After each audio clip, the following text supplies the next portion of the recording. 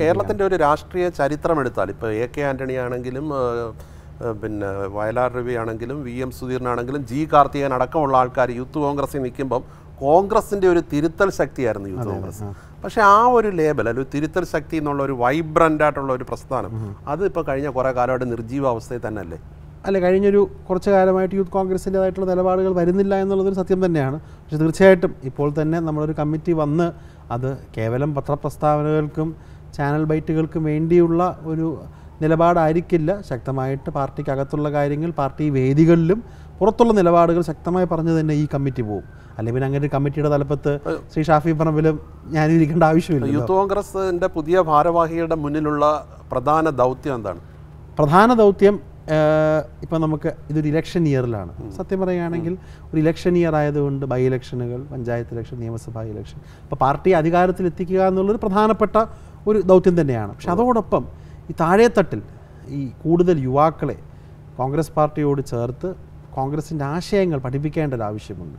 കാരണം താഴേത്തട്ടിൽ പോകുമ്പോൾ പലയിടത്തും കുട്ടികളൊക്കെ പലരും പല രാഷ്ട്രീയ വിശ്വാസവും അരാഷ്ട്രീയവാദത്തിലും പോകുന്ന ആളുകളാണ്. ഇപ്പോൾ യൂത്ത് കോൺഗ്രസ് പോലത്തെ എന്താ പറയുക പാർട്ടികൾ ശക്തമായിട്ട് പൊതു നിലപാടുകൾ സ്വീകരിച്ച് കുട്ടികളെ ചേർത്തിരിക്കുകയാണെങ്കിൽ ഈ പറഞ്ഞ രജിത് ആർമി ഒന്നും അങ്ങനെ ഉണ്ടാകത്തില്ല. ഇതിപ്പോൾ ഒരാൾ കൊറോണ സമയത്ത് അദ്ദേഹം വരുമ്പോൾ പതിനായിരക്കണക്കിന് ആളുകൾ റിസീവ് ചെയ്യാൻ പോകുന്നതൊക്കെ ഒരു തരത്തിൽ രാഷ്ട്രീയവാദത്തിന്റെ ഭാഗമാണ്. അതൊക്കെ മാറ്റിയെടുക്കണമെങ്കിലും യുവജന സംഘടനകൾ ആ രീതിയിലേക്ക് കേരളത്തിന്റെ ഒരു കൾച്ചർ മാറുക കൾച്ചർ മാറണം. ഞാൻ പറയുന്നത് കേരളത്തിൽ ഉത്തരവാദികൾ യൂത്ത് കോൺഗ്രസും എല്ലാം തന്നെയാണ്. അതെ അതെ. യുവാക്കളിൽ രാഷ്ട്രീയവാദം വളരുമ്പോൾ കൂടുതൽ രാഷ്ട്രീയ ചർച്ചകൾ ഇപ്പോൾ ഈ പൊതു സി എ വിഷയം അടക്കമുള്ള വിഷയത്തിൽ ഒരു ആശ്വാസമുള്ളത് ആളുകൾ കൂടുതൽ രാഷ്ട്രീയവും ഭരണഘടനയും പഠിച്ചു എന്നുള്ളതാണ്. അപ്പം അതിൽ നിന്നുകൊണ്ട് തന്നെ കൂടുതൽ രാഷ്ട്രീയം ചർച്ച ചെയ്യാൻ യുവാക്കളെ പ്രേരിപ്പിക്കണം എന്നുള്ളത്. അതിലിപ്പോൾ ഡിവൈഎഫ്ഐയും യൂത്ത് കോൺഗ്രസും യുവമോർച്ചയും എ ബി പിയും ഒക്കെ പരാജയപ്പെട്ടിരിക്കുകയാണ്. അതിലേക്ക് തിരികെ നമുക്ക് കൂടുതൽ രാഷ്ട്രീയം ചർച്ച ചെയ്യാനുള്ള സ്പേസുകൾ ഒരു ഇന്റലക്ച്വൽ ആയിട്ടുള്ള സ്പേസുകൾ അതോടൊപ്പം ഈ പറഞ്ഞ രാഷ്ട്രീയ പോരാട്ടങ്ങൾ സർക്കാർക്കെതിരെയുള്ള കാര്യങ്ങളൊക്കെ ചെയ്ത് ഞാൻ എപ്പോഴും പറയുന്നൊരു കാര്യമുണ്ട്. യൂത്ത് കോൺഗ്രസിനെയും നിലനിൽക്കേണ്ടത് ഒന്ന് നമ്മൾ കൃത്യമായിട്ടുള്ള ഇടപെടലുകൾ നടത്തണം. നമ്മൾ ശക്തമായിട്ടുള്ള നിലപാടുകൾ എടുക്കണം. നമ്മൾ രാഷ്ട്രീയ പോരാട്ടങ്ങളും സമരങ്ങളും നടത്തണം. അതോടൊപ്പം ഈ ഭാവിയിലേക്കുള്ള കൂടുതൽ ആശയങ്ങളും ഇംപ്ലിമെന്റ് ചെയ്യാൻ നമ്മുടെ യുവാക്കളെ സജ്ജരാക്കാൻ യുവജന സംഘടനകൾ യൂത്ത് കോൺഗ്രസ് അതിൽ പ്രഥമ സ്ഥാനം വഹിക്കണം യുവജനങ്ങളുടെ ഒരു അപ്രൈസിംഗ് ഉണ്ടാവും. അപ്രൈസിംഗ് ഈ നാട്ടിൽ എന്തെങ്കിലും മാറ്റം ഉണ്ടായിട്ടുണ്ടെങ്കിൽ നമ്മൾ ചരിത്രം നോക്കിയാൽ മതി. അതിന്റെയൊക്കെ കാരണം യുവജനങ്ങളുടെ അപ്രൈസിംഗ് ആണ്. നമ്മൾ ഈ അടുത്ത കാലത്ത് പല മിഡിൽ ഈസ്റ്റ് രാജ്യങ്ങളിലുള്ള അറബ് സ്പ്രിംഗ് ആവട്ടെ അല്ലെങ്കിൽ നമ്മുടെ എന്തിന് കോൺഗ്രസ് ഒരു ലോക്സഭാ ഇലക്ഷനും ഡൽഹി ഇലക്ഷനും തോറ്റ അന്നത്തെ നമ്മുടെ എന്താ ലോക്പാൽ ബില്ലാവട്ടെ അല്ലെങ്കിൽ ഇപ്പോൾ കാണുന്ന പൗരത്വ ഭേദഗതി വിഷയത്തിനെതിരെയുള്ള സമരങ്ങൾ ഡൽഹിയിലും ഒക്കെ എല്ലാം യുവാക്കളാണ്. ഈ പ്രായമുള്ള ആളുകൾ പലരും ഇപ്പോൾ നിലപാടുകൾ മറന്ന് ഫേസ്ബുക്കിന്റെ സ്വകാര്യതയിൽ ഇരുന്ന് ഒളിയമ്പുകൾ ചെയ്യുമ്പോൾ രാഷ്ട്രീയ നിലപാടുകൾ എടുത്ത് വരേണ്ടതിന് യുവാക്കൾ തന്നെയാണ്. ഇപ്പോൾ യുവാക്കളുടെ കാര്യം പറയുമ്പോൾ താങ്കൾ അടക്കമുള്ള ഭാരവാഹികൾ ചുമതലയേറ്റ വേളയിലാണ്. ഇന്ത്യയിൽ കോൺഗ്രസിന്റെ യുവ നേതാക്കളിൽ വലിയ പ്രതീക്ഷ വെച്ച് പുലർത്തിയിരുന്ന Jyotiraditya Scindia B J P ചേർന്നത്. യുവാക്കൾക്ക് വലിയ രീതി പ്രാധാന്യം കിട്ടുന്നില്ല എന്നുള്ളതിന്റെ ഒരു തെളിവ് കൂടിയല്ലേ അത്? അല്ല അതെനിക്ക് യുവരാജ്യ സിന്ധ്യ കോൺഗ്രസ് പാർട്ടിയെ വിട്ടുപോയത് ഒരു വിഷമകരമായ കാര്യം തന്നെയാണ്. പക്ഷേ നമ്മൾ സിന്ധ്യ കുടുംബത്തിന്റെയും ആ പ്രദേശത്തിന്റെ രാഷ്ട്രീയവും ഒക്കെ നോക്കുകയാണെങ്കിൽ അത് എക്സ്പെക്റ്റഡ് കാര്യം തന്നെയായിരുന്നു. കാരണം ജ്യോതിരാദിത്യ സിന്ധ്യയുടെ ഒരു രാഷ്ട്രീയം നമ്മൾ നോക്കുകയാണെങ്കിൽ അദ്ദേഹം രണ്ടായിരത്തി ഒന്നിൽ എം പി ആയ സമയം മുതൽക്ക് അദ്ദേഹത്തിന് കോൺഗ്രസ് പാർട്ടി എത്താവുന്ന ഏറ്റവും നല്ല പോസ്റ്റുകൾ കൊടുത്തിട്ടുണ്ട്. എം പി ആയിരുന്നു ഐ ബി മിനിസ്റ്റർ ആയിരുന്നു. കഴിഞ്ഞ ഗുണ ഇലക്ഷൻ അദ്ദേഹം തോറ്റത് നമ്മുടെ കുറ്റം കൊണ്ടാണ്. പക്ഷേ തോറ്റതിന്റെ പിന്നിൽ കോൺഗ്രസിനുള്ളിലുള്ള പൊളിറ്റിക്സ് ഉണ്ടെന്ന് അവിടെ വലിയ ആക്ഷേപമുണ്ട്. പക്ഷേ അദ്ദേഹം തോറ്റത് കൂടെ നിന്ന ഒരാളുടെ ഒരു ലക്ഷം വോട്ടിന് തോക്കുകയാണെങ്കിൽ ഒരു ലക്ഷം വോട്ടിന് തോക്കുകയാണെങ്കിൽ അത് അല്ല മധ്യപ്രദേശ് പോലുള്ള ഒരു സ്ഥലത്ത് ഒരു ലക്ഷം വോട്ടെന്ന് പറയുന്നത് അത്ര വലിയ ഒരു ലക്ഷം ഒരു ലക്ഷം വോട്ടിന് അദ്ദേഹം തോറ്റത്. അദ്ദേഹം പലപ്പോഴും എനിക്ക് ഉൾക്കൊള്ളാൻ കഴിയാത്ത ഒരു രാഷ്ട്രീയം അദ്ദേഹം പാർട്ടിയിൽ ഉള്ളപ്പോഴും അദ്ദേഹത്തിന് എല്ലാവരും യുവരാജാവേ എന്നാണ് വിളിക്കുന്നത്. അതിപ്പോ അദ്ദേഹത്തിന്റെ ഒരു പാരമ്പര്യത്തിൽ അതെ അത് അത് അത് അങ്ങനെ ഉണ്ടാവാൻ പാടില്ല. അപ്പൊ ഞാൻ അപ്പം ആ ഒരു ഇതൊക്കെ പറയുകയാണെങ്കിലും മധ്യപ്രദേശിൽ കോൺഗ്രസ് അധികാരത്തിൽ വരുന്നതിൽ ജ്യോതിരാദിത്യ സിന്ധ്യ വലിയ റോൾ വഹിച്ചിട്ടുണ്ട്. അതൊരു ഫാക്ടറാണ് എന്നിട്ട് അദ്ദേഹത്തിന് ഒരു അവിടുത്തെ പി സി സി പ്രസിഡന്റ് പദം പോലും കൊടുക്കാൻ മുഖ്യമന്ത്രി തയ്യാറായി. ഞാൻ പറഞ്ഞത് അദ്ദേഹത്തിനോട് പാർട്ടി ഒരുപക്ഷെ അദ്ദേഹത്തിന് വിചാരിച്ച രീതിയിൽ കാര്യങ്ങൾ ചെയ്യാൻ കഴിഞ്ഞില്ലെങ്കിലും നമ്മൾ ആത്യന്തികമായ ഒരു വ്യക്തിയെക്കാളും വലുത് പ്രസ്ഥാനമാണ് ആശയങ്ങളാണ്. ആ ആശയങ്ങളോട് കൂടെ നിൽക്കാതെ അദ്ദേഹം ഇത്രയും കാലം ഏതൊരാശയത്തിന് വേണ്ടിയാണോ നിന്നത്? അതിൽ നിന്ന് മാറി നിന്നത് വ്യക്തിപരമായിട്ട് താല്പര്യം കൊണ്ട് യുവാക്കളുടെ കാര്യം താങ്കൾ പറയുമ്പോൾ യൂത്ത് കോൺഗ്രസിന്റെ ഭാരവാഹിയായിട്ട് ഇന്ന് പറയുമ്പോൾ ഇപ്പം നമ്മൾ മധ്യപ്രദേശ് എടുത്തു കഴിഞ്ഞാൽ കമൽനാഥിനെ പോലെ ഇപ്പം നമ്മൾ അദ്ദേഹത്തെ ഒരു വൃദ്ധൻ എന്നൊന്നും പറയുന്നില്ല താരതമ്യേന പ്രായമുള്ള കഴിഞ്ഞ ഇന്ദിരാഗാന്ധിയുടെ കാലം തൊട്ടേ ഉള്ള ഒരു രാഷ്ട്രീയ നേതാവ്. രാജസ്ഥാനിലേക്ക് വരുമ്പോൾ അശോക് ഗാലോട്ട്. അവിടെ രാജേഷ് പൈലറ്റ്. ഇവർക്കൊന്നും അവസരം കൊടുക്കാതെ ഇവർ തന്നെ വീണ്ടും വീണ്ടും കേന്ദ്രമന്ത്രിയും മുഖ്യമന്ത്രിയും ഒക്കെ ആയിരുന്നവർ ആവർത്തിച്ച് ആവർത്തിച്ച് പദവികൾ പിടിച്ചെടുക്കുന്നു. യുവാക്കളെ അവഗണിക്കുന്നു. ഇത് എന്ത് സന്ദേശമാണ് കൊടുക്കുന്നത്? അല്ല ചില കാര്യങ്ങളിൽ കോൺഗ്രസ് പാർട്ടിക്ക് ഒരു സ്ഥായിയായിട്ടുള്ള ചർച്ചകളും നിലപാടിന്റെ മാറ്റങ്ങളൊക്കെ ഉണ്ടാക്കേണ്ട ആവശ്യമുണ്ട്. പക്ഷേ ജ്യോതിരാദിത്യ സിന്ധ്യയെ ഒരിക്കലും യൂത്ത് കോൺഗ്രസിന്റെയോ കോൺഗ്രസിന്റെയോ ഒരു ആശയങ്ങളുടെ ഒരു ചിഹ്നമായി ഞാൻ കണ്ടിട്ടില്ല. ജ്യോതിരാദിത്യ സിന്ധ്യയുടെ മാറ്റം ഈ ഇന്നത്തെ ബി കോൺഗ്രസ്സുകാർ നാളത്തെ ബി ജെ പിക്കാർ എന്ന് പറയുന്ന ഒരു വാദത്തിന് ശക്തി പകരുന്നതല്ലേ? അല്ല ആ വാദത്തിന് ശക്തി പകരാതിരിക്കാൻ ഞാനടക്കമുള്ള ബാക്കി നേതാക്കളൊക്കെ രാഷ്ട്രീയം പറഞ്ഞുകൊണ്ട് തന്നെ അതിനെ ഖണ്ഡിക്കണം എന്ന് എന്റെ അഭിപ്രായം. അതിന് പാർട്ടി ഏറ്റവും കൂടുതൽ ഉത്തരവാദിത്വം എടുക്കേണ്ടത് ഞാൻ സമ്മതിക്കുന്നു. പാർട്ടി തന്നെയാണ്. അതിന് സ്വയമായിട്ടുള്ള ഒരു ചർച്ചയും ഉൾക്കാഴ്ചയും ഒക്കെ പാർട്ടിക്ക് ഉണ്ടാകണം. അത് ചെയ്യാതെ നമ്മൾ ഇരിക്കുന്നതിന്റെ പ്രശ്നങ്ങളാണ് ഇതൊക്കെ. ഒരു പക്ഷേ ഈ കമൽനാഥിന്റെ കാര്യത്തിലാണെങ്കിലും ഗലോട്ടിന്റെ കാര്യത്തിലാണെങ്കിലും ഒന്നും താൻ പറയുന്ന ഒരു കാര്യം ഫലപ്രദമായി പ്രാബല്യത്തിൽ വരാത്തത് കൊണ്ടുകൂടി ആയിരിക്കില്ലേ രാഹുൽ ഗാന്ധിയെ പോലെ ഒരാൾ കോൺഗ്രസ് അധ്യക്ഷ പദവിയിലേക്ക് വീണ്ടും തിരിച്ചു വരാത്തത്? അതായത് ഒരു യങ് ടീമിനെ ബിൽഡ് ചെയ്യാൻ അദ്ദേഹം ഭയങ്കരമായിട്ട് ശ്രമിച്ചിരുന്നു. പക്ഷേ അത് ഫലപ്രദമായിട്ട് നടപ്പം ഇപ്പം സിന്ധ്യ രാജിവെച്ചപ്പം തന്നെ രാഹുൽ ഗാന്ധി പറഞ്ഞതെന്ന് പറഞ്ഞാൽ എന്റെ ഏറ്റവും അടുത്ത സുഹൃത്തായിരുന്നു അല്ലെ എന്റെ ഒപ്പം പഠിച്ച ആളായിരുന്നു എല്ലാ സ്വാതന്ത്ര്യമുള്ള ആളായിരുന്നു എന്നൊക്കെ പറയുന്നു. അന്നേരം ഇദ്ദേഹം ആഗ്രഹിക്കുന്ന രീതിയിലേക്ക് പാർട്ടിയെ കൊണ്ടുവരാതെ കഴിഞ്ഞ തലമുറ പാർട്ടിയെ ഇപ്പോഴും കൈയടക്കി വെച്ചിരിക്കുകയല്ലേ? ഇല്ല അങ്ങനെയാണെങ്കിൽ തന്നെ സിസ്റ്റത്തിനകത്ത് നിന്ന് ഫൈറ്റ് ചെയ്യണമെന്ന് വിശ്വസിക്കുന്ന ഒരാളാണ് ഞാൻ. നമ്മൾ മാറിപ്പോയി നിന്ന അതിനുള്ളൊരു ഇടം പാർട്ടി ഉണ്ടാക്കിയെടുക്കില്ല സിസ്റ്റത്തിനകത്ത് നിന്ന് സിസ്റ്റത്തിൽ ചേഞ്ചുകൾ കൊണ്ടുവരാൻ പലതും കൊണ്ടുവരാൻ. ഇപ്പോൾ യൂത്ത് കോൺഗ്രസിന്റെ സിസ്റ്റം അടക്കം ധാരാളം. ഇന്നുള്ള പല യൂത്ത് കോൺഗ്രസിൽ നിന്ന് K S U M L എമാരൊക്കെ ആ ഒരു പൊസിഷന്റെ ഭാഗമായി രണ്ടായിരത്തി പതിനൊന്നിൽ വന്ന ആളുകളാണ് അപ്പോൾ സിസ്റ്റത്തിനകത്ത് നിന്നുകൊണ്ട് തന്നെ ആ സിസ്റ്റത്തിൽ മാറ്റങ്ങൾ ഉണ്ടാക്കണമെന്നാണ് എന്റെ അഭിപ്രായം. കേരളത്തിൽ ഇത്തരം വെല്ലുവിളികൾ യൂത്ത് കോൺഗ്രസ് നേരിടുന്നുണ്ടോ? അത് നേരിടും. തലമുറ തലമുറ മാറ്റം കേരളത്തിൽ പ്രതീക്ഷിക്കുന്നുണ്ടോ? ഇല്ല ഞാനിതിനകത്ത് ഒരു എന്നോട് പലരും ചോദിക്കുമ്പോൾ പറയുന്നൊരു കാര്യമുണ്ട്. നമുക്ക് മിടുക്കരായിട്ടുള്ള സീനിയർ നേതാക്കളുണ്ട്. എപ്പോഴും വിജയിച്ചു വരുന്ന നേതാക്കളുണ്ട്. ജനസമ്മതിയുള്ള ധാരാളം നേതാക്കളുണ്ട്. പുതിയ യുവാക്കളുണ്ട്. ടെസ്റ്റ് ചെയ്യേണ്ട യുവാക്കളുണ്ട്. ഇവരെല്ലാവരെയും ഒരുമിച്ച് അല്ലാതെ അടിമുടി എല്ലാം യുവാക്കളായിരിക്കണം പഴയ ആളുകൾ പാടില്ല എന്ന് പറയുന്നതിനോട് ഞാൻ ഒരു. മിക്സ് ആണ് വേണ്ടത്. ഒരു മിക്സാണ് വേണ്ടത്. ചില സീറ്റുകൾ. ഇപ്പോൾ ഞാൻ ഒരു ഇലക്ഷൻ ഫോക്കസ് ചോദിക്കുകയാണെങ്കിൽ കോൺഗ്രസ്സിന് വിജയിക്കാൻ വലിയ സാധ്യതയില്ലാത്ത ഒത്തിരി സീറ്റുകളുണ്ട്. പക്ഷെ അതൊക്കെ ഫൈറ്റ് ചെയ്ത് ജയിക്കാൻ പറ്റുന്ന സീറ്റാണ് അങ്ങനത്തെ സീറ്റുകളിൽ നമ്മൾ യൂത്ത് കോൺഗ്രസിന്റെ ആളുകൾ നിർത്തണം. നല്ല സീറ്റുകളിൽ നമ്മൾ വനിതകളെ നിർത്തണം. നിരന്തരമായി ഒരുപക്ഷെ ആളുകൾ നിന്ന് തോക്കുന്ന സീറ്റുകൾ നമ്മൾ പുതിയ പരീക്ഷണങ്ങൾ നടത്തണം. അതിന്റെ ഏറ്റവും നല്ല ഉദാഹരണം ഞാൻ പറയുന്ന ഒരു കാര്യമാണ് രമ്യ ഹരിദാസ് മോഡൽ. അതൊരു മോഡൽ എന്ന് പറയുമ്പോൾ കോട്ടൺ കോട്ട്. ആലത്തൂർ പോലൊരു സീറ്റിൽ കോൺഗ്രസിന് ഒരുപക്ഷെ നിർത്താൻ സ്ഥാനാർത്ഥി ഇല്ലാതായിരുന്ന ഇടതുപക്ഷത്തിന്റെ ഒരു കോട്ട കൂടിയാണ്. ഒരു കോട്ട കൂടിയാണ്. പക്ഷേ ബിജുവിനെ പോലുള്ള ഒരു എന്താ നല്ല വിദ്യാഭ്യാസമൊക്കെ ഉള്ള ഒരാളുള്ളപ്പോൾ നമുക്ക് രമ്യ ഹരിദാസിനെ കൊണ്ടുവന്ന് അതാ നാട്ടുകാരി പോലും അല്ലാത്ത രമ്യ ഹരിദാസിനെ കൊണ്ടുവന്ന് വിജയിപ്പിക്കുവാൻ കഴിഞ്ഞത് കോൺഗ്രസ്സിലുള്ള യുവനിരയുടെ മിടുക്കാണ് കാണിക്കുന്നത്. പാർട്ടി നേതൃത്വം തയ്യാറായി. തീർച്ചയായിട്ടും അടുത്ത നിയമസഭാ ഇലക്ഷന് അതുപോലത്തെ ധാരാളം പരീക്ഷണങ്ങൾ നമ്മുടെ പാർട്ടി നടത്തണമെന്ന് തന്നെയാണ് നമ്മുടെ എല്ലാ നിലപാട്. പക്ഷേ കോൺഗ്രസിന്റെ കാര്യത്തിൽ ആര് പാർട്ടിയെ തെരഞ്ഞെടുപ്പിൽ നയിക്കുമെന്ന് പോലും ആശയക്കുഴപ്പം നിലനിൽക്കും ഇല്ല നമ്മളൊരു വ്യക്തി ഡ്രിവൺ പാർട്ടിയല്ല. നമ്മൾ അങ്ങനെ ഒരു ഒരു പേര് പറഞ്ഞ് നമ്മൾ ഇലക്ഷനെ നേരിട്ടിട്ടുമില്ല. പക്ഷേ ഒരു ഇലക്ഷൻ എന്ന് വെച്ചാൽ നൂറ്റി നാൽപ്പത് സീറ്റാണ് നൂറ്റി നാൽപ്പത് സീറ്റുകൾ നമ്മൾ നല്ല സ്ഥാനാർത്ഥികളെ നോക്കി നിൽക്കുന്നു നല്ലൊരു ലീഡർഷിപ്പ് നമ്മൾ കൊടുക്കുന്നു രാഷ്ട്രീയം പറയുന്നു തീർച്ചയായിട്ടും നമുക്ക് വിജയിക്കാൻ കഴിയും. അടുത്ത തെരഞ്ഞെടുപ്പിൽ യുവാക്കൾക്കും വനിതകൾക്കും നല്ല തീർച്ചയായിട്ടും. വനിതകൾക്കും യുവാക്കൾക്കും അതോടൊപ്പം തന്നെ ഞാൻ എപ്പോഴും ആലോചിക്കുന്ന ഒരു കാര്യമാണ് നമ്മുടെ സംവരണമുള്ള സീറ്റുകൾ. കോൺഗ്രസ് പാർട്ടി പലപ്പോഴും വിജയി ഇലക്ഷന് മുമ്പ് തന്നെ നമ്മൾ തോറ്റു എന്ന് പാർട്ടിക്കകത്ത് പ്രഖ്യാപിക്കുന്ന സീറ്റുകളാണ്. അവിടെയൊക്കെ അവിടൊക്കെ നല്ല യുവാക്കളെ കൊണ്ടുവരണം. ഞാൻ പറഞ്ഞ കുമാരി രമ്യ ഹരിദാസ് എം പിയുടെ ഉദാഹരണമാണത്. ആ ഒരു ആലത്തൂർ മോഡൽ കേരളത്തിൽ എല്ലായിടത്തും വ്യാപകമാക്കുകയാണ്. ആലത്തൂർ മോഡൽ എന്ന് പറയാൻ കാരണം ഒന്ന് ഒരു പിന്നോക്ക വിഭാഗത്തിലെ ഒരാളാണ്. രണ്ട് ഒരു വനിതയാണ്. ആ ഒരു ആലത്തൂർ മോഡൽ കേരളത്തിൽ പല സീറ്റുകളിലും കൊണ്ടുവന്നാൽ കോൺഗ്രസ്സിന് നിഷ്പ്രയാസം ഒരു ഇരുപത്തഞ്ച് മുപ്പത് സീറ്റ് നമുക്ക് വിജയിക്കുമെന്ന് കഴിയാ വിചാ വിചാരിക്കാത്ത സീറ്റുകൾ വിജയിക്കും. ഭരണപക്ഷം ഇടതുപക്ഷം പറയുന്നത് ഇപ്പോൾ ഭരണ തുടർച്ച ഉണ്ടാകുമെന്നാണ്. അപ്പോൾ താങ്കൾ നാല് വർഷം ഇപ്പോൾ എം എൽ എ ആയിട്ട് സജീവമായിരുന്നല്ലോ. എന്ത് തോന്നുന്നു? ഇല്ല നമ്മുടെ ഈ ഒരു ഭരണ തുടർച്ച ഉണ്ടാവാനുള്ള കാരണങ്ങൾ നമ്മളൊന്നും ഗ്രൗണ്ടിൽ കാണുന്നില്ല. ജനങ്ങൾ അസ്വസ്ഥരാണ്. ജനങ്ങളുടെ കയ്യിൽ എന്ത് കാരണത്താൽ അസ്വസ്ഥരാണ്? എല്ലാ കാര്യത്തിലും ജനങ്ങൾക്കിപ്പോൾ ഇവർ പറയുന്ന ഈ കാര്യങ്ങളാവട്ടെ ജനങ്ങൾക്കുള്ള വീടുകളുടെ കാര്യമാവട്ടെ കുടിവെള്ള പ്രശ്നങ്ങൾ രണ്ട് ലക്ഷത്തിലധികം വീടുകൾ വെച്ച് കൊടുത്തു രണ്ട് ലക്ഷം വീടിന്റെ കണക്കുകൾ കൃത്യമായിട്ട് ഉമ്മൻചാണ്ടി സാറിന്റെ പത്രസമ്മേളനത്തിൽ പറഞ്ഞല്ലോ. നാല് ലക്ഷം വീടുകൾ നമ്മൾ കൊടുത്തതാണ്. ഇവർ നടത്തുന്ന ഈ ഒരു മാർക്കറ്റിംഗ് പി ആർ ക്യാമ്പയിൻ അല്ല ഫീൽഡിലുള്ളത്. അത് സി പി എമ്മിനും എൽ ഡി എഫിനും അറിയാം. അപ്പം അതൊക്കെ മറച്ചു വെക്കാനാണ് ഇപ്പോൾ നമ്മൾ പ്രളയത്തെ നമ്മൾ അതിജീവിച്ചു എന്ന് പറയുന്നു എന്ത് അതിജീവിച്ചു? അവസാനം സ്വന്തം പാർട്ടിക്കാരൻ തന്നെ പ്രളയ ഫണ്ട് മുക്കിയ വാർത്തകളാണ് വന്നുകൊണ്ടിരിക്കുന്നത്. പക്ഷേ ഇതൊക്കെ പ്രചരണ രംഗത്ത് കൊണ്ടുവരുന്നതിൽ കോൺഗ്രസ് അത്ര വിജയിക്കുന്നുണ്ടോ?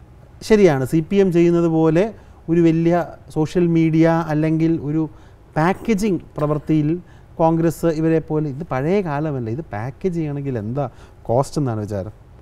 നമ്മൾ ഈ കറയുന്ന ഈ ധാരാളം സർക്കാരിന്റെ ഭാഗമായി നടക്കുന്ന ക്യാമ്പയിനുകൾ മുഖ്യമന്ത്രിയുടെ ഫേസ്ബുക്ക് പേജ് പാർട്ടിയുടെ പേജ് ഇതൊക്കെ ലക്ഷങ്ങളല്ല കോടികളുടെ കണക്കാണ്. ഇത്ര യങ്സ്റ്റേഴ്സ് ഉള്ളപ്പോൾ കോൺഗ്രസിന് അതിനെ മാച്ച് ചെയ്യാൻ പറ്റുന്നില്ല? ഇല്ല അതിനെയും ഒരു പോസിറ്റീവായിട്ടൊരു മാറ്റം ഉണ്ടാകും. ഉണ്ടാകും ഉറപ്പായിട്ടുണ്ട് ഗ്രൗണ്ട് റിയാലിറ്റിയെ കുറിച്ച് പറഞ്ഞു. പക്ഷേ പൗരത്വ പ്രക്ഷോഭം ഉണ്ടായതിലൂടെ ന്യൂനപക്ഷങ്ങളുടെ വലിയ രീതിയിൽ വിശ്വാസം അതൊക്കെ തെറ്റിദ്ധാരണയാണ്. ഞാൻ മൂന്ന് കാര്യങ്ങൾ ചോദിക്കുന്നുള്ളൂ. ഈ ഒരു വിഷയം വന്നപ്പോൾ നമുക്ക് രാഷ്ട്രീയപരമായിട്ട് ഫീൽഡിൽ അതിനെ സമരം ചെയ്യാം. നമുക്ക് നിയമപരമായിട്ട് സമരം ചെയ്യാം. നിയമപരമായിട്ട് സമരം ചെയ്യാൻ ആദ്യം പോയത് മുസ്ലിം ലീഗ് ബഹുമാനപ്പെട്ട പ്രതിപക്ഷ നേതാവാണ്. അതിനുശേഷമാണ് അബദ്ധ ജടിലമായിട്ടുള്ള ഒരു അഫിഡവിറ്റ് എന്റെ പേരും അക്ഷരത്തിട്ടുള്ള അക്ഷരത്തെറ്റുള്ള ഒരു അഫിഡവിറ്റാണ് ഇവിടുന്ന് സർക്കാരിന്റെ പോയത്. നിയമപരമായിട്ട് ഇതിനെ പോരാടുന്നത് യു ഡി എഫും കോൺഗ്രസും മുസ്ലിം ലീഗ് അടക്കമുള്ള പാർട്ടികളാണ്. രണ്ട് താഴേത്തട്ടിലെ സമരങ്ങളിൽ ഞാനടക്കമുള്ള എല്ലാ എം എൽ എമാരും മണ്ഡലങ്ങൾ സമരം നടത്തി. പത്തൊമ്പത് യു ഡി എഫ് എം പിമാർ സമരം നടത്തി. കോൺഗ്രസ് യു ഡി എഫ് പഞ്ചായത്തുകൾ സമരം നടന്നു. ഇവർ ഒരു മനുഷ്യച്ചങ്ങലയും ചങ്ങലയും മുഖ്യമന്ത്രിയുടെ ഒരു ഇമേജ് ബൂസ്റ്റിംഗ് അല്ലാതെ താഴെത്തട്ടിൽ ഈ സമരങ്ങളുടെ ഭാഗമായി നിന്നിട്ടുള്ളത് യു ഡി എഫ് സംവിധാനമാണ്. എന്തിന്? എന്റെ മണ്ഡലത്തിലടക്കം ഇതുപോലത്തെ സമരങ്ങളിൽ ഞാൻ പോയപ്പോൾ തൊളിക്കോട് മുതൽ വിതിര വരെയുള്ള ഒരു സമരത്തിന്റെ ഭാഗമായി ഞാൻ നടന്നപ്പോൾ ആ സമരത്തിന് സി പി എമ്മുകാർ വരാതെ ഹർഷ് മന്ദാറാണ് ആ സമരം ഉദ്ഘാടനം ചെയ്യാൻ വന്നത്. ഹർഷ് മന്ദാർ എന്ന് വെച്ചാൽ ഇന്ത്യയിലെ ഏറ്റവും മികവുറ്റ നമ്മുടെ ഭക്ഷ്യഭദ്രതാ നിയമമൊക്കെ ഉണ്ടാക്കാൻ സോണിയാഗാന്ധിയുടെ എൻ ഐ സി കൗൺസിലൊക്കെ ഉണ്ടായിരുന്ന ഹർഷ് മന്ദാറാണ് ആ യോഗം ഉദ്ഘാടനം ചെയ്ത് ഇതിലെ വന്നത്. ആ പ്രോഗ്രാം സി പി എം ബഹിഷ്കരിപ്പിച്ചു ആ പ്രോഗ്രാമിന് വന്ന ഹർഷ് മന്ദാർ അത് കഴിഞ്ഞ് പിറ്റേ ദിവസം മുഖ്യമന്ത്രിയുടെ പ്രോഗ്രാമിന് നിശാഗന്ധിയിൽ പോകാൻ പറ്റില്ല എന്നുള്ള ഇന്റലിജൻസ് റിപ്പോർട്ട് ഇറക്കി. എന്നിട്ട് അവർ പറഞ്ഞു ഇവിടെ എസ് ഡി പി ഐക്കാരുടെ പ്രോഗ്രാമിന് എം എൽ എ പോയെന്ന് പറഞ്ഞ് പ്രചരണം കൊടുക്കുന്നത് സി പി എം ആണ്. താഴെത്തട്ടിൽ ഇതിന് ഏറ്റവും കൂടുതൽ വീക്കാക്കിയിട്ടുള്ളത് സി പി എം ആണ്. സി പി എം ബഹുമാനപ്പെട്ട മുഖ്യമന്ത്രി ശ്രീ റോജി എം ജോണിന്റെ ചോദ്യത്തിന് മറുപടിയായി ഇത് എസ് ഡി പി ഐ പാർട്ടിയുടെ സമരമാണെന്ന് പറഞ്ഞതാണ് നരേന്ദ്രമോദി ലോക്സഭയിൽ പറഞ്ഞത്. പിന്നെ എങ്ങനെ വിശ്വാസം ഉണ്ടാവും? പക്ഷേ ദേശീയ തലത്തിൽ കോൺഗ്രസ് ഒരു മുങ്ങുന്ന കപ്പലാണെന്നുള്ളൊരു തോന്നൽ തോന്നൽ കേരളത്തിലെ ന്യൂനപക്ഷത്തിനില്ലേ? ഒരിക്കലും ഇല്ല. കേരളത്തിലെ ന്യൂനപക്ഷവും ഭൂരിപക്ഷവും ഒക്കെ കോൺഗ്രസിനോടൊപ്പം നിന്നതാണ് നമ്മൾ ലോക്സഭാ ഇലക്ഷനിൽ കണ്ടത്. ലീഗിന് പോലും ഒരു ചാഞ്ചാട്ടം ഉണ്ടെന്നാണ് പറയുന്നത്. ഒരു ചാഞ്ചാട്ടവും ഇല്ല. അടുത്ത പ്രാവശ്യം ഒരു യു ഡി എഫ് സർക്കാർ വരും. അതിനുള്ള രാഷ്ട്രീയപരമായിട്ടുള്ള ഒരു കാലാവസ്ഥ നമുക്കുണ്ട്. പക്ഷേ അത് എന്താ വിത്തിട്ടത് വിളവെടുക്കേണ്ടത് നമ്മുടെ പാർട്ടി സംവിധാനമാണ്. അതിൽ നമ്മൾ കൂടുതൽ ശക്തമാകണം. നമ്മൾ യൂത്ത് കോൺഗ്രസ് അടക്കമുള്ള സംഘടനകൾ ശക്തരാകണം. നല്ല സ്ഥാനാർത്ഥികൾ. പാർട്ടി പ്രവ പ്രവർത്തനം നല്ല സ്ഥാനാർത്ഥികൾ ശരിയായിട്ടുള്ള നിലപാടുകൾ. ഇതായിട്ട് കോൺഗ്രസ് പക്ഷേ കോൺ- കോൺഗ്രസിന്റെ കാര്യം അവിടെ നിൽക്കട്ടെ പക്ഷേ യു ഡി എഫിൽ ഇപ്പോൾ അന്തചിത്രമാണല്ലോ. ഇപ്പം കേരള കോൺഗ്രസ് എടുത്തു കഴിഞ്ഞാൽ തമ്മിലടി. അങ്ങനെ ജനാധിപത്യ കേരള കോൺഗ്രസ് ഇപ്പോൾ അപ്പുറത്ത് നിന്ന് ഇങ്ങോട്ട് പോയി. അങ്ങനെ അങ്ങോട്ടും ഇങ്ങോട്ടുമുള്ള ചേരിതിരിവ് വളരെ ശക്തമാണ്. അതിനെ നിയന്ത്രിക്കാൻ കോൺഗ്രസിന് കഴിയുന്നില്ല. എന്തുകൊണ്ട് കഴിയുന്നില്ല എന്നുള്ളത് എനിക്ക് നാട്ടിലെ സീറ്റ് കോൺഗ്രസ് ഏറ്റെടുക്കണമെന്നുള്ള ഒരു വാദം ഉന്നയിച്ച ആളാണ് താങ്കൾ. അതെ അത് ആ വാദത്തോട് ഞാൻ ശക്തമായി നിൽക്കുകയാണ്. കാര്യം ആ, പാലായിൽ ഇലക്ഷന് പോയപ്പോൾ പ്രശ്നമാണെന്ന് വിശ്വസിച്ച ഒരാളാണ് ഞാൻ. അവിടെ അധികം ഞാൻ നിൽക്കാതെ ഞാൻ ബാക്കി മണ്ഡലങ്ങളിലാണ് ഇലക്ഷനൊക്കെ നിന്നത്. അതിന്റെ ഒരു പ്രശ്നം നമ്മൾ ജനങ്ങളെ കൂടുതൽ പരീക്ഷിക്കരുത്. ചിഹ്നം ഒരു പ്രധാനപ്പെട്ട ഘടകമാണ്. എന്നാണോ പാലായിൽ രണ്ടില ചിഹ്നമില്ലാതെ കൈതച്ചക്കയുമായിട്ട് ഇറങ്ങിയത്? അവിടെ പാലായിൽ കൈതച്ചക്ക കൃഷി കൈതച്ചക്ക കൃഷിയുണ്ട്. എന്നിട്ടും നമ്മൾ ജയിച്ചില്ല. ജയിക്കേണ്ട സീറ്റായിരുന്നു. കുട്ടനാട് ഈ പറഞ്ഞ കൈതച്ചക്ക കൃഷിയുണ്ടോ എന്ന് എനിക്കറിയില്ല. താഴ്ന്ന ഇടമാണ് സി ലെവലിൽ. അവിടെ ഒരു കോൺഗ്രസ് തന്നെ സീറ്റ് എടുക്കണം ആ തരത്തിലാവുകയാണെങ്കിൽ നിർബന്ധമായി നമുക്ക് ജയിക്കാൻ കഴിയുന്ന ഒരു സീറ്റാണ് അത് അങ്ങനെ തന്നെ ആവുമെന്ന് വിശ്വസിക്കുന്നു. ഇപ്പോൾ യൂത്ത് കോൺഗ്രസിന്റെ പുനഃസംഘടനയിലേക്ക് വരുമ്പോൾ ഒരു കാര്യം K P C C president Shri Mullappally Ramachandran പറഞ്ഞതെന്ന് പറഞ്ഞാൽ ഒരാൾക്ക് ഒരു പദവി. അത് കെ പി സി സിയുടെ കാര്യത്തിലെ പുനഃസംഘടന അത് പാലിച്ചു. യൂത്ത് കോൺഗ്രസിന്റെ കാര്യം വന്നപ്പോൾ താങ്കളും ഷാഫി പറമ്പിലും എല്ലാം എം എൽ എമാരാണ്. അദ്ദേഹം അതിനുവേണ്ടി പറഞ്ഞ ഒരു കാര്യം ഇനിയുള്ളത് ഇലക്ഷൻ ഇയർ ആണ്. എം എൽ എമാർ പദവികളിലൊന്നും കുരുങ്ങിക്കിടക്കാതെ മണ്ഡലം ശ്രദ്ധിക്കണമെന്ന് പറഞ്ഞു. ഈ വാദത്തോട് എന്ത് പറയും? ഇത് രണ്ട് രീതിയിൽ കാണാം. ഒന്ന് ഷാഫി പറമ്പലും ഞാനും മാത്രമല്ല യൂത്ത് കോൺഗ്രസ്. യൂത്ത് കോൺഗ്രസ് എന്ന് വെച്ചാൽ വലിയ സംഘടനയാണ്. താഴെ തട്ടിൽ മണ്ഡലം പ്രസിഡന്റ് മുതൽ മണ്ഡലം ഭാരവാഹികൾ ബ്ലോക്ക് ഭാരവാഹികൾ ബ്ലോക്ക് പ്രസിഡന്റ് ജില്ലാ സെക്രട്ടറി ജില്ലാ പ്രസിഡന്റ് സംസ്ഥാന സെക്രട്ടറി ജനറൽ സെക്രട്ടറി പ്രസിഡന്റുമാരടക്കം പ്രസിഡന്റ് വൈസ് പ്രസിഡന്റുമാർ അടക്കമുള്ള വലിയ സംഘടനയാണ്. ഇതിൽ രണ്ടാളുകൾ ഇത് മാത്രമല്ല നേതൃത്വം. പിന്നെ ഈ എം എൽ എമാർ മണ്ഡലത്തിൽ കോൺസെൻട്രേറ്റ് ചെയ്യുന്നുള്ള പോയിന്റിനോട് ഞാനത് ഇപ്പം ഞാൻ മണ്ഡലം നന്നായിട്ട് നോക്കുന്ന ഒരു എം എൽ എ ആണ്. എല്ലാ കാര്യങ്ങളും പോകുന്ന ഒരാളാണ് അത് ഇപ്പം അത് ഞാൻ കൂടുതൽ ബുദ്ധിമുട്ടണമെന്നില്ലല്ലോ അതിന് ഞാൻ തയ്യാറാണ്. പക്ഷേ ഇന്നിപ്പോൾ ഷാഫി പറമ്പിൽ യൂത്ത് കോൺഗ്രസ് പ്രസിഡന്റായിട്ട് ഒരു കമ്മിറ്റി വരുമ്പോൾ അതിന് പൊതുസമൂഹത്തിൽ ലഭിക്കുന്ന ഒരു സ്വീകാര്യതയുണ്ട്. എന്റെ കാര്യം ഞാൻ പറയുകയില്ല പക്ഷേ Shafi Parambil youth Congress president എന്ന് പറയുമ്പോൾ കൊള്ളാം. എന്നുള്ള ഒരു അല്ലെങ്കിൽ ഒരു ഒരു ഒരു വിശ്വാസം പൊതുസമൂഹത്തിനുണ്ട് അപ്പോൾ അത് പൊതുസമൂഹത്തിന്റെ വിശ്വാസം പ്രത്യേകിച്ച് യൂത്ത് കോൺഗ്രസ് ഇങ്ങനെ നിങ്ങൾ പറഞ്ഞതുപോലെ തന്നെ നമ്മൾ സമരം സംഘടന ഇല്ലാതെ ഇരിക്കുമ്പോൾ ഒരു വിശ്വാസത അർജിക്കാൻ ഈ ഒരു പേര് വന്നത് ഒരു നല്ല കാര്യം തന്നെയാണ്. പക്ഷേ അത് സംഘടന ഞാനും ഷാഫി മാത്രമല്ല ബാക്കി എല്ലാവരുമാണ് ആ രീതിയിൽ തന്നെ നടക്കും. പിന്നെ രണ്ടാമത്തെ കാര്യം ഈ എം എൽ എമാർ മണ്ഡലം നോക്കുന്നതാണെങ്കിൽ ഞാനൊരു മറുവാദം ഇത് ചോദിക്കുന്നതോടെ ഉന്നയിക്കുകയാണ്. ബഹുമാനപ്പെട്ട മുഖ്യമന്ത്രി ധർമ്മടത്തെ എം എൽ എ അല്ലേ? ബഹുമാനപ്പെട്ട പ്രതിപക്ഷ നേതാവ്. ഹരിപ്പാടത്തെ എം എൽ എ അല്ല? അപ്പം അത് ഞാൻ പറഞ്ഞില്ലേ എം എൽ എമാർ മണ്ഡലത്തിലെ കാര്യങ്ങൾ പൂർണമായി നോക്കണം. അതാണ് പ്രാഥമിക ഉത്തരവാദിത്വം. അതെങ്ങനെ പാർട്ടി പദവിയും മണ്ഡലം പദവിയും ആ ആളുകളുടെ ഒരു റെസ്പോൺസിബിലിറ്റിയാണ് അത് ബഹുമാനപ്പെട്ട ഷാഫി പറമ്പിലും ഞാനും നമ്മുടെ രണ്ടുപേരുടെയും കാര്യത്തിൽ നമ്മളത് നമ്മൾ ഇഫേർട്ട് എടുക്കുക. നമ്മുടെ ഇരുപത്തിനാല് മണിക്കൂർ നമ്മൾ ഇരുപത്തിനാല് മണിക്കൂറായിട്ട് ഉപയോഗിക്കുക. അത് നമ്മുടെ രണ്ടുപേരുടെയും വ്യക്തിപരമായിട്ടുള്ള കാര്യമാണ്. താങ്കളുടെ കുറേ വ്യക്തിപരമായ കാര്യങ്ങളിലേക്ക് കടന്നു കഴിഞ്ഞാൽ അച്ഛന്റെ ആകസ്മികമായിട്ടുള്ള നിര്യാണത്തെ തുടർന്ന് താങ്കൾ പെട്ടെന്നാണ് രാഷ്ട്രീയത്തിലേക്ക് വന്നത്. ഇപ്പോൾ പെട്ടെന്ന് ജനകീയനായി മാറാൻ കഴിഞ്ഞു. അച്ഛനിൽ നിന്ന് പഠിച്ച് ഒരുപാട് ഗുണങ്ങൾ അച്ഛനിൽ നിന്ന് പഠിച്ചിട്ടുണ്ട്. അതിൽ ഏറ്റവും വളരെ ഇതായിട്ട് താങ്കൾക്ക് അറിയുന്ന ഒരു ഗുണം എന്താണ്? അച്ഛൻ എപ്പോഴും പറയുന്ന ഒരു കാര്യമുണ്ട്. എനിക്ക് ഒരു രാജേഷനോട് ഇന്റർവ്യൂ പറഞ്ഞിട്ടുള്ള കാര്യമായിരിക്കും. ഈ don't run inside the vehicle എന്ന് പറയും. വണ്ടിക്കകത്ത് കിടന്ന് ഓടൽ വണ്ടി എത്തേണ്ടടത്ത് നേരെ വഴിക്ക് ഓടിച്ചാൽ എത്തേണ്ട സമയത്ത് എത്തിക്കോളും. ഞാൻ രാഷ്ട്രീയത്തിൽ എടുത്തിരിക്കുന്ന ഒരു നിലപാട് അത് തന്നെയാണ്.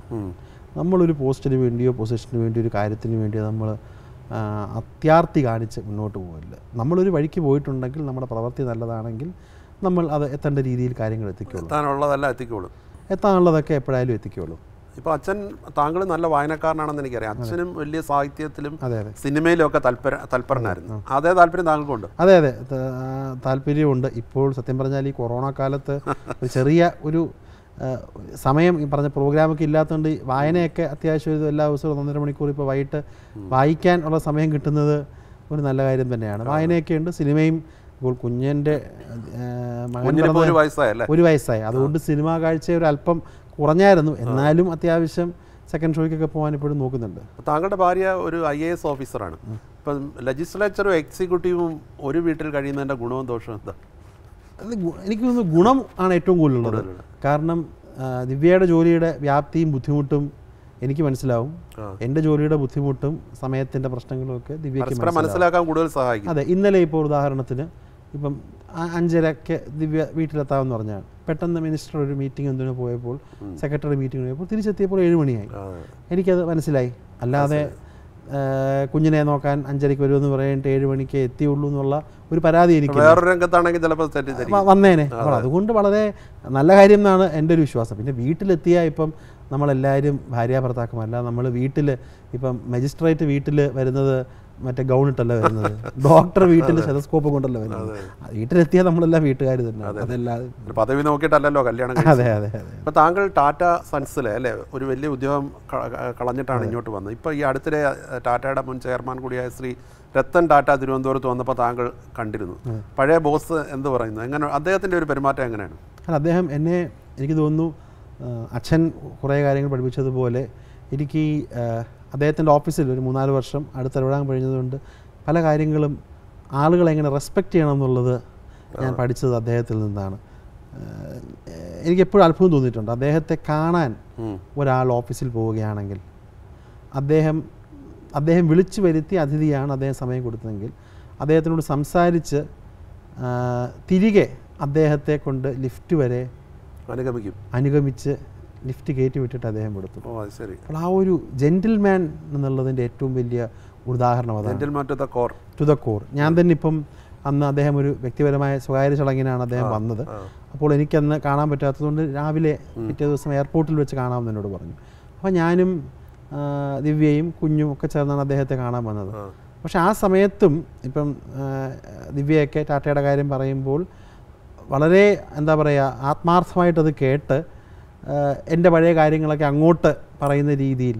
അപ്പോൾ അതങ്ങ് എല്ലാവരും അതൊരു മഹത് വ്യക്തികൾക്ക് മാത്രം പറ്റുന്ന ഒരു ഒരു ഒരു ജെന്റിൽമാൻ ആകുക ഒരു എന്താ പറയുക ഒരു ആ, ഒരു വ്യക്തിത്വത്തിന്റെ ഇപ്പം ഉറുദുവിലൊക്കെ ഒരു വാക്കുണ്ട് തഹസീബ് എന്നൊക്കെ പറയും. അതുള്ള ഒരാളാണ് അദ്ദേഹം. വളരെ ഒരു ജെന്റിൽമാൻ ടു ദ കോറാണ് ഒരു പ്രൊഫഷണലിസത്തിന്റെ ഏറ്റവും വലിയ ഉദാഹരണമാണ്. അപ്പോൾ നമ്മൾ പറഞ്ഞ പോലെ താങ്കൾ ഒരു മൾട്ടിനാഷണൽ കമ്പനീന്റെ വളരെ പ്രോസ്പെക്ട്സ് ഉള്ള ഒരു ഉദ്യോഗം വലിച്ചെറിഞ്ഞിട്ടാണ് രാഷ്ട്രീയത്തിലേക്ക് വന്നത്. ഇതിപ്പോൾ വന്നതിനും അതിലും തിരിച്ചു പോകുന്ന മടുത്തെന്ന് ചോദിക്കുന്നതിൽ അർത്ഥമില്ല. പക്ഷേ രാഷ്ട്രീയ രംഗത്ത് താങ്കളെ മടിപ്പിക്കുന്ന എന്തെങ്കിലും കാര്യങ്ങളുണ്ടോ? രാഷ്ട്രീയ പൊതു രാഷ്ട്രീയ താങ്കളുടെ പാർട്ടി വെച്ചിട്ടല്ല പൊതു രാഷ്ട്രീയ രംഗത്ത്. എനിക്ക് ഈ ആൾക്കാർ ഈ സൂചിപ്പിക്കുമ്പോൾ മടിപ്പിക്കുന്ന മടുക്കുന്ന ഒരാളാണ് ഞാൻ. ചില ആളുകൾ ഇങ്ങനെ നമ്മളോട് ചേട്ടാ അത് ഭയങ്കരമായിരുന്നു. അല്ലെങ്കിൽ അത് ഭയങ്കര ഇതായിരുന്നു. അപ്പം പ്രസംഗിച്ച എനിക്കോ അല്ലെങ്കിൽ അത് വായിച്ച എനിക്കോ അത് അത്ര നന്നായിട്ട് തോന്നിയില്ലെങ്കിൽ ഈ സ്തുതി പാഠകരും ഈ പുകഴ്ത്തുന്നതും എനിക്ക് പെട്ടെന്ന് തന്നെ അസ്വസ്ഥരാക്കാറുണ്ട്. അതാണ്. പ്രവർത്തനങ്ങളാണ് നമുക്ക് വേണ്ടി സംസാരിക്കുക നമ്മൾ ചെയ്യുന്നതിനെ നമുക്ക് സ്വയം വിലയിരുത്താൻ പറ്റും. Correct correct. സ്വയം നമ്മുടെ നമ്മുടെ പ്രവർത്തനങ്ങൾ കണ്ടാണ് ആളുകൾ നമുക്ക് പാർക്കേണ്ടത് നമുക്ക് വേണ്ടി സ്തുതി പാടുന്നത് എനിക്ക് തീരെ ഇഷ്ടമുള്ളൊരു കാര്യമില്ല. അപ്പോൾ കൂടുതൽ ജനകീയനായി മാറട്ടെ. എല്ലാ ആശംസകളും. Thank you thank you